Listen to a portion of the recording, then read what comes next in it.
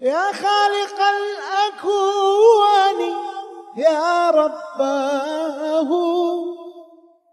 يا واحدا لا نرتجي إلا هو.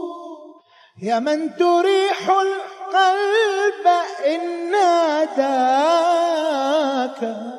الله يا الله يا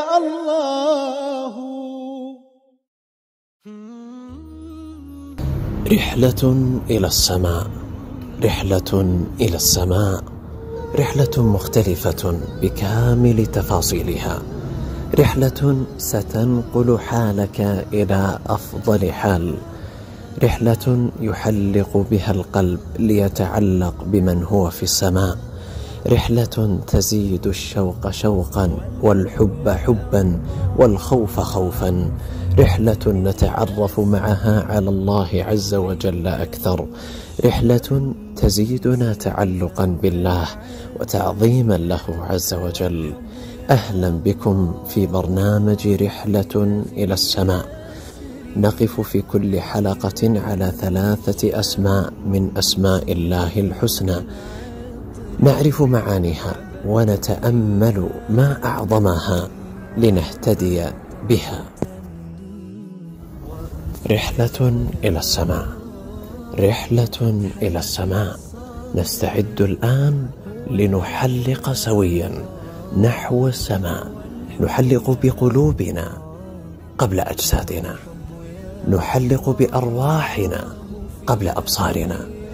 ونتأمل عظمة الله عز وجل بمعرفة أسمائه الحسنى وصفاته العلى.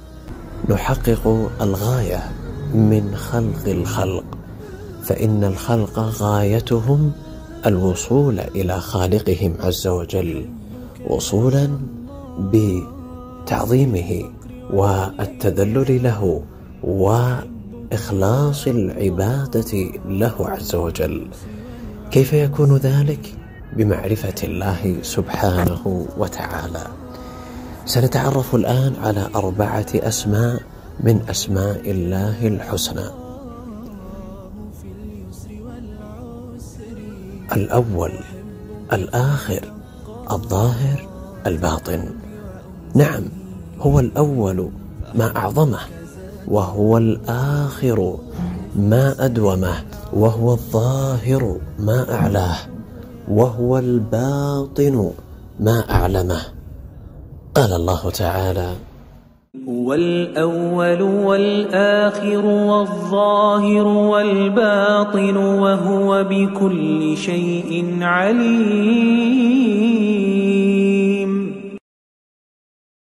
الأول هو الله الأول وكل ما سواه حادث بعده عز وجل. أقصده دائما ليكن في بالك هو الأول. ليكن في قلبك هو الأول.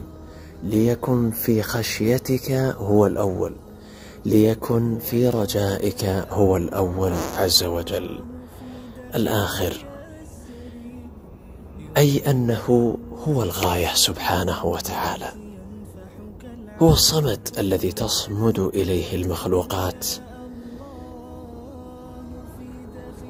نعم. تصمد إليه المخلوقات بتألهها ورغبتها ورهبتها وجميع مطالبها. اجعل غايتك في جميع أعمالك حركاتك وسكناتك عباداتك بل حتى عاداتك. اجعل غايتك الله عز وجل هو الآخر. هو الله الظاهر يدل على عظمة صفاته واضمحلال كل شيء عند عظمته. سبحانه ظاهر فوق كل شيء. سبحانه الخلق خلقه والأمر أمره والتدبير تدبيره. هو ظاهر سبحانه على كل شيء. هو الله الباطن. هو الله الباطن.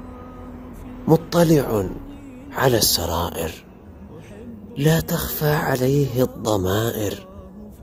عليم بالخبايا والخفايا. كل شيء قد أحاطه علمه. يدل هو الله الباطن. هو الله الباطن. قريب من عباده. هو الله الباطن قريب من عباده. هو معهم أينما كانوا بعلمه وهو بذاته ظاهر على كل شيء فوق سماواته مستوي على عرشه سبحانه وتعالى. رحلة إلى السماء. يا خالق الأكوان يا رباه. يا واحدا لا نرتجي إلا هو. يا من تريح القلب إن ناداك. الله يا